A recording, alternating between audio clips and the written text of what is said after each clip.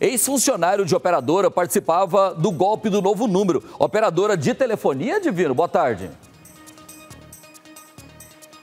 Isso mesmo, Loares. Boa tarde para você e para todos que estão ligados no Balanço Geral. Eu chego trazendo a informação da prisão desses ex-funcionários dessa companhia telefônica. Eles são suspeitos, Loares, de habilitar linhas telefônicas, né, linhas pré-pagas, no nome de pessoas de boa fé, sem que essas pessoas soubessem, com o intuito de praticar golpes. E eu chego trazendo também, Loares, um alerta muito importante. Será que você, eu, quem está assistindo a gente, Será que não tem linha telefônica cadastrada no nosso CPF, no nosso nome, e a gente não está sabendo que está servindo aí para o crime? Vamos te ensinar daqui a pouco como que faz a consulta, é muito fácil. Mas antes vamos conversar com a delegada Marcela Orsay, da Delegacia de Repressão a Crimes Cibernéticos. Vai contar para a gente como é que foi a prisão desses ex-funcionários e como funcionava esse esquema. Delegada, muito boa tarde. Foram cumpridos mandados de prisão e também de busca e apreensão em Goiânia e no Distrito Federal. Boa tarde novamente. Boa tarde, boa tarde, Loares. Sim, hoje a gente trabalha, a gente apresenta um caso um pouco diferente aqui do, do usual, que é sempre o golpe do novo número, às vezes um golpe de leilão. Hoje, é, a DERC, ela prendeu sete pessoas vinculadas a essa associação criminosa que trabalhavam um pouco antes desse golpe acontecer, como habilitando esses chips que serão utilizados nos golpes. São 18 mil chips, pelo menos, habilitados por essa, nessa operadora que detectou esse, esse esquema. É, demitiu os funcionários e compareceu à DEC para é, avaliar e, e, repassar a situação. Então, agora, com esses 18 mil números que nós temos que avaliar, nós provavelmente teremos que compartilhar a investigação com várias unidades da federação, tendo em vista que 18 mil números podem ter sido usados em vários estados. Então, a gente trabalha hoje com o crime meio de falsidade ideológica e também com associação criminosa e Agora, com o avançar, a gente chega nos crimes que podem ser estelionato, é, fraude eletrônica, extorsão, qual, quaisquer crimes que utilizem ali as famosas linhas frias.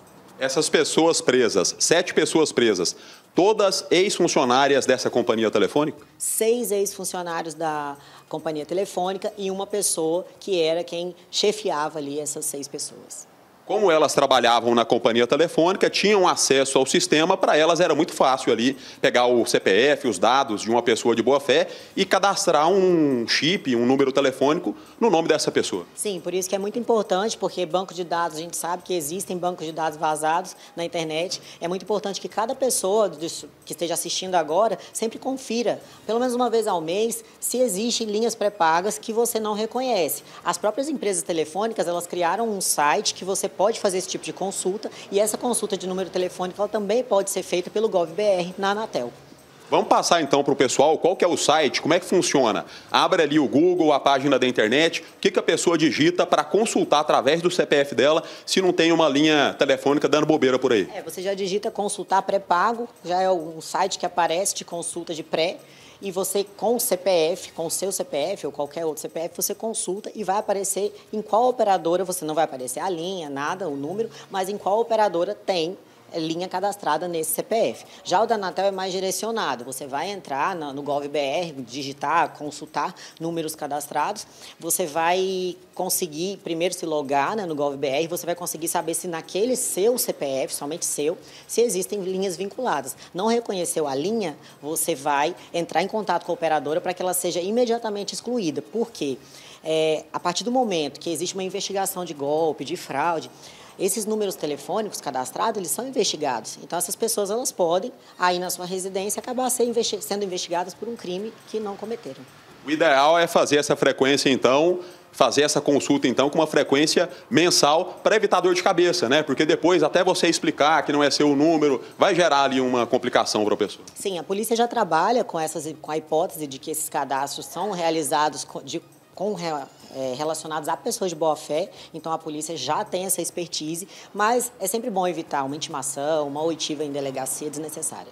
O que, que, foi apreendido aí no cumprimento desses mandados de busca e apreensão, delegado? Bom, além de dispositivos eletrônicos, foram apreendidos materiais que serão agora analisados para uma verificação, principalmente a primeira verificação de onde esses números estavam sendo usados essa quadrilha, essa organização criminosa, ela pode ser muito maior, né? A gente está falando de 18 mil linhas telefônicas, a capacidade de praticar golpes aí no Brasil todo, praticamente. Há a possibilidade de, de, de, um âmbito nacional e aqui a gente tem identificado um núcleo importante, que é o núcleo da habilitação dos chips, que, são, que é o meio assim, utilizado para é, ludibriar as vítimas aí dos crimes patrimoniais.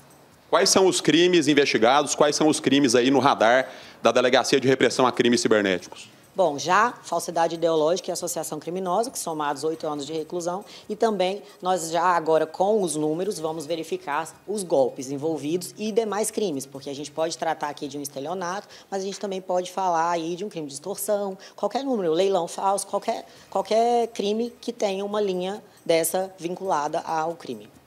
Dá para saber o período de existência desse esquema, delegada? a, empresa telefônica chegou a informar qual foi o período, assim, ah, foi habilitados, foram habilitados os números do período tal a tal período? Sim, essas informações elas estão sigilosas aqui na delegacia, mas há o período, há a quantidade de linhas e agora nós conseguiremos as linhas especificamente. Vamos só reforçar para finalizar, delegada, como é que a pessoa faz para consultar, você vai ouvir mais uma vez então da delegada, como que é para consultar ali através da internet, de forma rápida, simples, se existe um número pré-pago cadastrado no seu CPF. Sim, existem, é, tem o site que é específico das empresas, basta você digitar no Google cadastro cadastro pré ou consulta pré, que o site vai aparecer para você, ou então se logar na sua conta GovBR, entrar na, na, na, aba da Anatel e você consultar ali com relação ao seu CPF se existe alguma conta vinculada. Interessante também, já aproveitando a questão preventiva, na, no GovBR também você consegue consultar se existem contas bancárias criadas no seu nome